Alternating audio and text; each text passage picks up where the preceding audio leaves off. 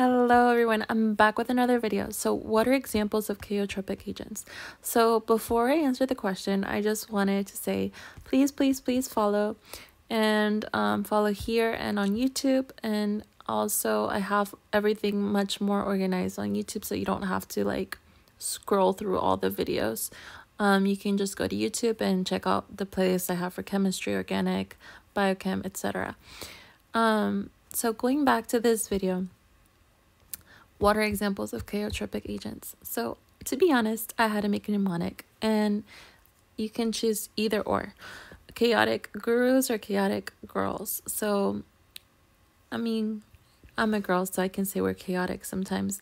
So, I chose chaotic gurus, but you, on again, you can do chaotic girls, and it would be Gwen, Guanidinium, uh, I don't know, and urea. So, my pronunciation isn't the best, so bear with me. So that's going to at least help you remember those two agents um, in biochemistry. Again, if you like the video, please follow, like, and share. Thank you.